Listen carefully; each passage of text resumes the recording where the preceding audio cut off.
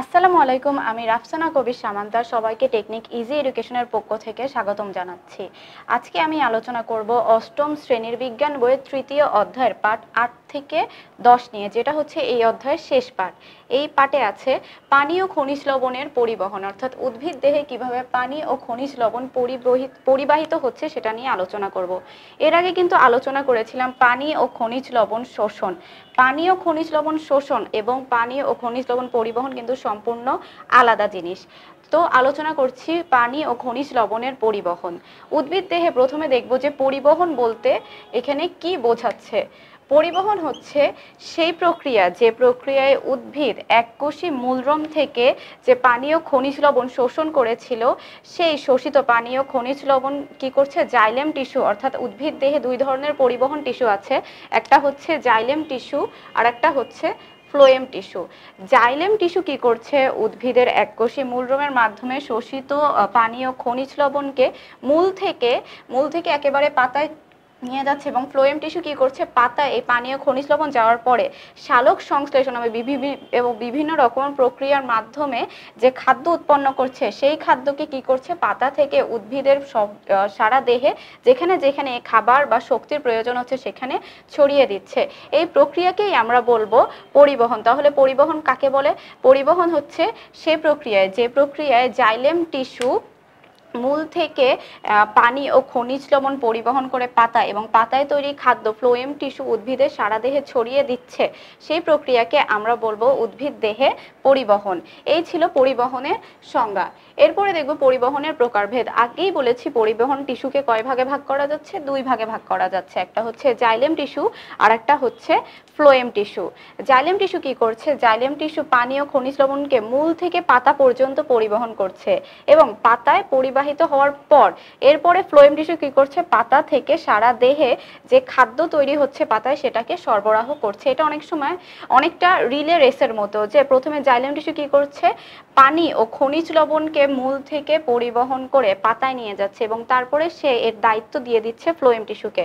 তখন phloem tissue কি করছে? পাতায় শালক সংশ্লেষণ এবং বিভিন্ন প্রক্রিয়ার মাধ্যমে যে খাদ্য অথবা শক্তি উৎপন্ন করছে, সেটাকে উদ্ভিদের পাতা থেকে সারা দেহে যেখানে যেখানে সেই শক্তি বা খাবারের প্রয়োজন, সেখানে সে সরবরাহ করছে। তাহলে বুঝতে পারছি যে জাইলেম টিস্যুর যে পরিবহন, সেটা হচ্ছে ঊর্ধ্বমুখী এবং ফ্লোয়েম টিস্যুর পরিবহন হচ্ছে নিম্নমুখী। তাহলে উদ্ভিদ, দেহে পানি ও খনিজ লবণের যে পরিবহন, সেটাকে বলা হয়ে থাকে একটি উভমুখী প্রক্রিয়া। এই চিহ্নটি দ্বারা উভমুখী প্রক্রিয়াকে বোঝানো হয়ে থাকে। তাহলে যদি আমরা একটি চিত্র দেখি, তাহলে চিত্রে দেখতে পাবো এখানে, এই যে জাইলেম টিস্যু, এটি কিন্তু ওই যে জাইলেম টিস্যুর যে পরিবহনটা, সেটা ঊর্ধ্বমুখী এবং ফ্লোয়েম টিস্যুর পরিবহনটা হচ্ছে নিম্নমুখী।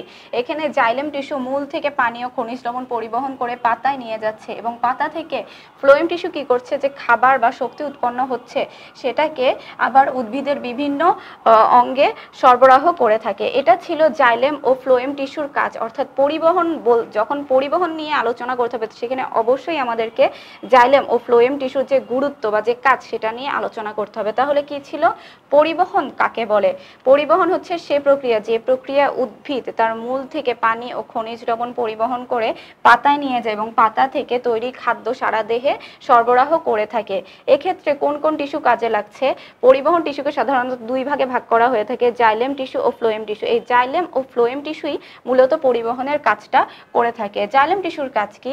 জাইলেম কি করছে? আমরা যখন পানি পরিশোষণ বা পরিশোষণ শোষণ পড়েছিলাম। সেখানে আমরা দেখতে পেয়েছিলাম যে এক কোষে মূলরম তার মাটির কণার ফাঁকে জমে থাকা পানিকে ইম্বাই ভীষণ প্রক্রিয়ার মাধ্যমে কি করছে? নিজের দেহে বা নিজের কাছে টেনে নিচ্ছে। টেনে নেওয়ার পরে ওইখানে কি হচ্ছে? অন্ত বিশ্রমণ প্রক্রিয়ার মাধ্যমে এক কোষ থেকে আর এক কোষ, এভাবে কোষ থেকে কোষান্তরে পানিটি পরিবাহিত হওয়ার পর এক পর্যায়ে কিন্তু জাইলেম টিস্যুর কাছে এসে পৌঁছেছে। খনিজ লবণ পরিশোষণ ক্ষেত্রেও দেখেছি যে দুই ধরনের প্রক্রিয়া আছে। একটি হচ্ছে সক্রিয় শোষণ আর একটা হচ্ছে নিষ্ক্রিয় শোষণ। এই সক্রিয় ও নিষ্ক্রিয় শোষণ যে কোনো একটি প্রক্রিয়ার মাধ্যমে কিন্তু খনিজ লবণ এক পর্যায়ে কোথায় আসছে, জাইলেম টিস্যুর হাতে এসে পৌঁছাচ্ছে। তখন এই জাইলেম টিস্যু কি করছে? পানি ও খনিজ লবণকে উদ্ভিদ দেহের মূল থেকে উপরের দিকে অর্থাৎ পাতায় নিয়ে যাচ্ছে। কারণ আমরা জানি, উদ্ভিদ দেহে পাতায় কিন্তু সব ধরনের এই পানি, তারপরে হচ্ছে গিয়ে খনিজ লবণ, এসব রসদ ব্যবহার করে থাকে পাতা, কারণ এখানে শালক সংশ্লেষণ প্রক্রিয়াটি সংঘটিত হয়ে থাকে। তারপরে কি করছে পাতায় শালক সংশ্লেষণ প্রক্রিয়া এবং অন্যান্য যে সকল প্রক্রিয়া আছে, সেগুলো সংঘটিত হওয়ার পরে উদ্ভিদ যে খাবার ও শক্তি উৎপন্ন করে, সেটা তো পাতায় রেখে দিলে হচ্ছে না।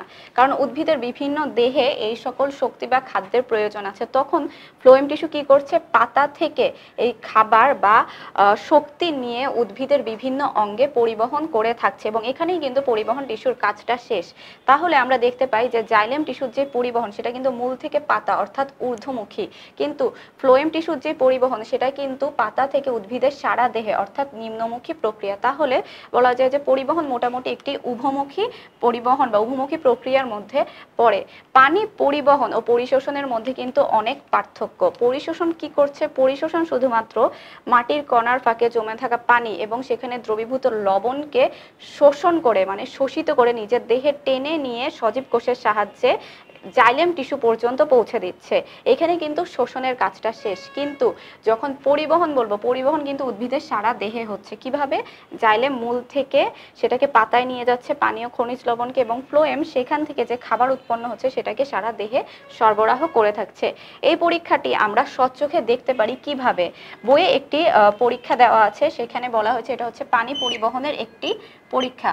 এই পরীক্ষার জন্য দরকার হচ্ছে একটি পেপারোমিয়া উদ্ভিদ। এই উদ্ভিদটি অনেকটি স্বচ্ছ মানে অনেক স্বচ্ছ।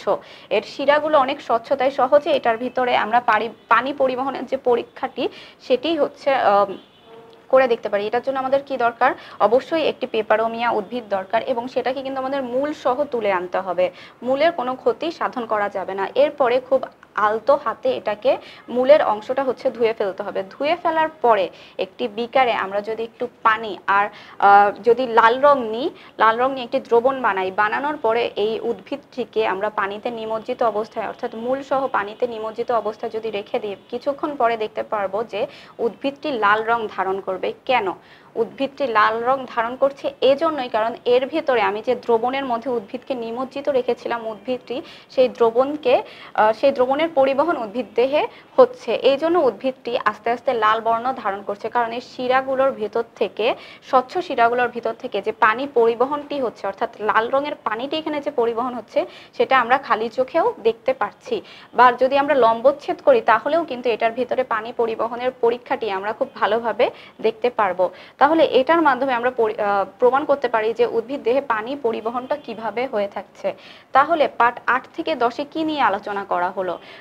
পার্ট আট থেকে দশে আলোচনা করা হয়েছে উদ্ভিদ দেহে পানি ও খনিজ লবণ যে পরিবহন প্রক্রিয়াটি সেটি। এই পরিবহন কাকে বলা হয়? পরিবহন হচ্ছে সেই প্রক্রিয়া যে প্রক্রিয়ায় উদ্ভিদ মূল থেকে পানি ও খনিজ লবণ উদ্ভিদের পাতায় পরিবহন করে এবং সেখান থেকে উৎপন্ন খাদ্যদ্রব্য পাতা থেকে সারা দেহে পরিবহন করে বা ছড়িয়ে দিচ্ছে, সেটাকেই আমরা বলব পরিবহন। পরিবহনে পরিবহনের ক্ষেত্রে দুটি টিস্যু কাজ করে থাকে, জাইলেম টিস্যু ও ফ্লোয়েম টিস্যু। জাইলেম টিস্যু কি করে? জাইলেম টিস্যু মূল থেকে পাতায় পানি ও খনিজ লবণ পরিবহন করে। পরবর্তী কাজ হচ্ছে ফ্লোয়েম টিস্যু। ফ্লোয়েম টিস্যু কি করছে? পাতায় উৎপন্ন খাদ্য বা শক্তিকে পাতা থেকে সারা দেহে পরিবহন করে থাকে। জাইলেম টিস্যুর যে পরিবহন, সেটা হচ্ছে ঊর্ধ্বমুখী। অপরদিকে ফ্লোয়েম টিস্যুর যে পরিবহন, সেটা হচ্ছে নিম্নমুখী। অনেক সময় জাইলেম ও ফ্লোয়েম টিস্যুর পার্থক্য কিন্তু পরীক্ষায় এসে থাকে। তখন আমাদেরকে বলতে হবে, জাইলেম টিস্যু কি করছে? মূল থেকে পাতায় পানি ও খনিজ লবণকে সরবরাহ করছে। অপরদিকে ফ্লোয়েম টিস্যু পাতা থেকে সারা দেহে যে খাদ্য উৎপন্ন হচ্ছে পাতায় সেটাকে সরবরাহ করছে। জাইলেম টিস্যুর যে পরিবহন বা প্রবাহ, সেটা হচ্ছে ঊর্ধ্বমুখী, অপরদিকে ফ্লোয়েম টিস্যুর প্রবাহ বা পরিবহন কিন্তু নিম্নমুখী। এভাবে আমরা জাইলেম ও ফ্লোয়েম টিস্যুর পার্থক্যগুলো পাশাপাশি রেখে ছকে সুন্দর করে লিখে একটি পার্থক্য দিতে পারি। তারপরে কি হচ্ছে? পানি পরিবহনের একটি পরীক্ষা বয়ে দেওয়া হচ্ছে, সেখানে পেপারোমিয়া নামক একটি উদ্ভিদ ব্যবহার করা হয়েছে। অনেক সময় সৃজনশীল করার ক্ষেত্রে এই পরীক্ষণগুলো তুলে দেয় এবং সেখান থেকে একটি সৃজনশীল প্রশ্ন করে থাকে। এজন্য আমাদের বইয়ে যে পরীক্ষাগুলো দেওয়া আছে সেগুলো ভালোভাবে দেখে যেতে হবে এবং কোন পরীক্ষাটি, কোন প্রক্রিয়ার, যেমন ব্যাপনের জন্য একটি পরীক্ষা আছে, অভিশ্রবণের জন্য আছে প্রচ্ছেদনের জন্য আছে এবং পানি পরিবহনের জন্য আছে, সবগুলো আলাদা আলাদাভাবে দেখে যেতে হবে। এই ছিল তৃতীয় অধ্যায়ের আলোচনা। পরবর্তী পর্বে আমি এই অধ্যায় থেকে বিভিন্ন বোর্ডে যে ধরনের প্রশ্ন এসেছিল সৃজনশীল সেগুলো নিয়ে আলোচনা করব। ততদিন সবাই ভালো থাকবে, সুস্থ থাকবে। আল্লাহ হাফেজ।